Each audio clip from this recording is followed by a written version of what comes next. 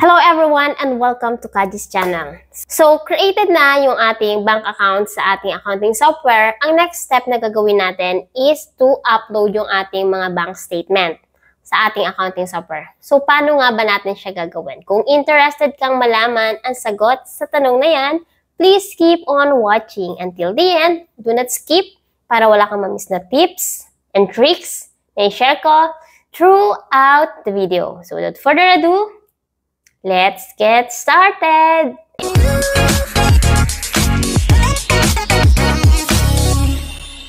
Kung bago ka lang sa channel na to, Kaji, virtual assistant, executive assistant, bookkeeper, accountant. So kahit anong work, pinapasok ko, basta't online, kasi online work is amazing!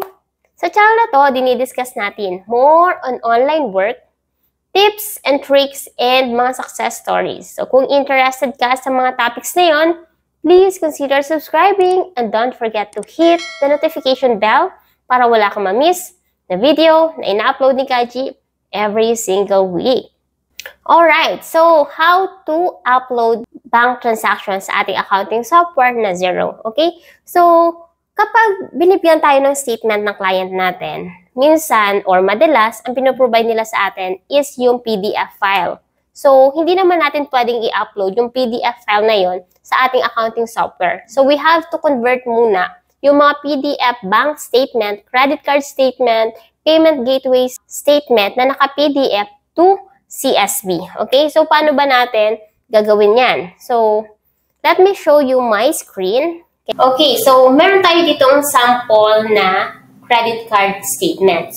So, Kaji, so paano mo ba malalaman na credit card siya or bank statement siya? So, number one, during the discovery call, masasabi naman sa'yo ni client na, for example, meron akong bank account, meron akong credit card account. Si bank account is Bank of America. Si credit card is Chase credit card. So, dun pa lang, ma-identify mo na, ah, okay, credit card to based dun sa communication namin ni client during the onboarding call.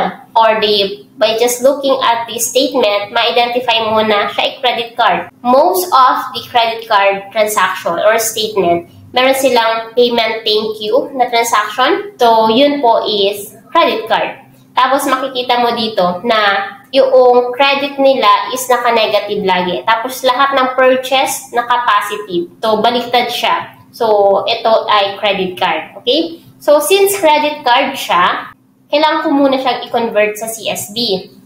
Marami tayong website na pwedeng magamit to convert PDF statement into CSV. So, meron tayong iLog PDF, Small PDF, So, depende sa iyo kung ano yung gagamitin mo. Search mo lang sa Google PDF to Excel Converter. Ayan, madami na dyan lalabas. So, karamihan dyan ay free. So, depende na lang kung ano yung gusto mong gamitin and depende sa output na ipoproduce nila sa iyo. Okay? So, kapag ganito karami yung transaction or ganito kaliit yung transaction, hindi ko na siya kino-convert. Kina-copy-paste ko lang yan. So, for example, ito, paano ko siya i-convert sa CSV. So, kapag mag-upload tayo ng bank transaction or credit card transaction or payment gateways transaction sa ating accounting software, ito lang yung mga information na kailangan mo. Hindi lahat ng information na makikita mo sa bank statement ay kailangan mo. So, alin lang? Number one, kailangan mo is yung date, yung description, yung payee kung meron, yung reference kung meron, and then syempre, huwag mo kakalimutan yung amount. Okay, so yan yung lima na kakailanganin mo. As much as possible, mas maganda na lahat to na column na to ay merong laman. Pero kung hindi naman available, so wala tayong magagawa. As long as meron kang data ng date, description, and amount, okay na yun. Kahit walang laman to. Pero bakit ko sinasuggest na mas maganda merong payee at saka reference para yun sa reconciliation mo mamaya na gagawin mo kapag uploaded na lahat ng bank statement mo.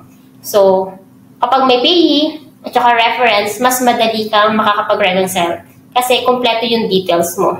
So, for example, sa date, okay? 1-1, kunwari lang, ang format is laging short date, ganyan. And description is withdrawal. Tapos amount is 1,000 kung ganyan lang yung information na meron ka at nasa reconciliation process ka na or bank categorization process ka na, mahirap ma-identify kung ano yung nature niya. So, ang mangyayari dyan, hindi mo siya makakategorize, okay? So, hanggat maaari, mas maganda na may payee and reference and kumpleto lahat ng column na to, okay? So, ang gagawin ko dito is 3, 6, okay? So, lagi ko lang 3, 3, 26, 2023.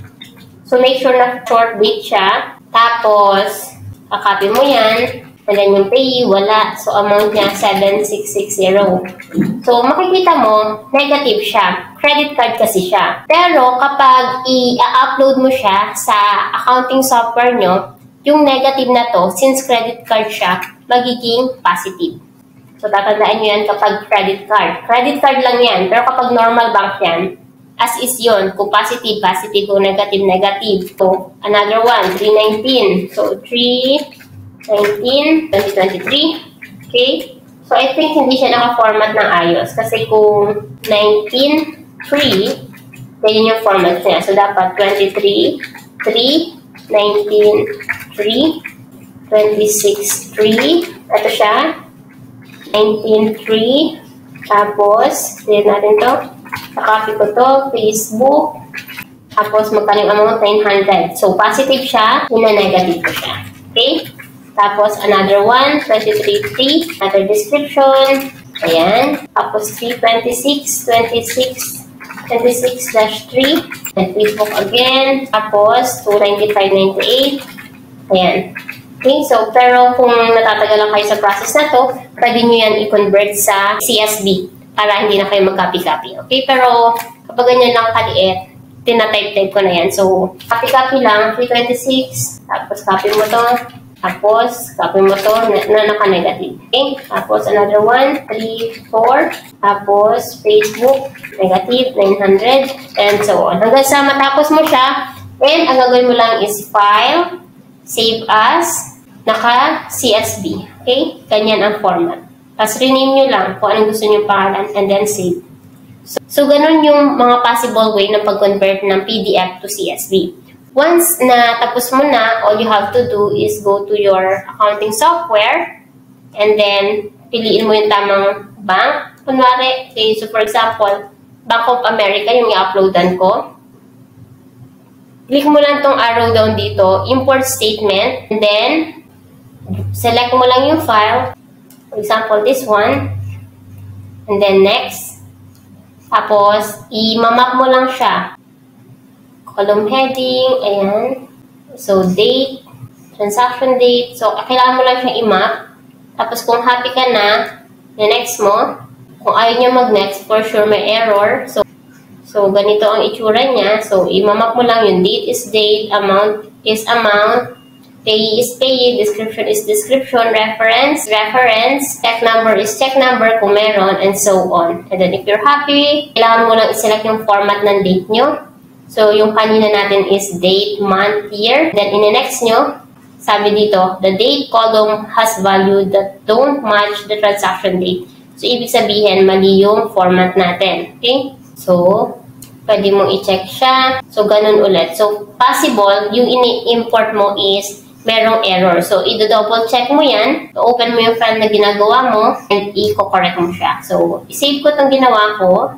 Downloads kunwari lang, CSV, kung anong pangalan ng gusto mo, save, and then i-close natin. So, go back sa ating accounting software, back, select file, select mo yung tamang file, next, tapos make sure na tama yung mapping, description, payee, reference, reference, amount is transaction amount, and if you are happy, you can check naman itong mga to. Then next, so ayan. So, okay naman siya. Then if you are happy, complete, import. So, bakit nagkakaroon tayo ng error kapag nag-upload tayo? So, possible, mali yung format ng date mo, meron kang mga special character na nasama sa date mo, or meron kang mga zero amount na transaction line. So, make sure na i-double check nyo yun. So, sana marami kayong natutunan sa video na to. And if you want more videos like this, just let me know sa comment section. Kaji will try to create more videos just for you. I'll see you sa next video ko. Bye!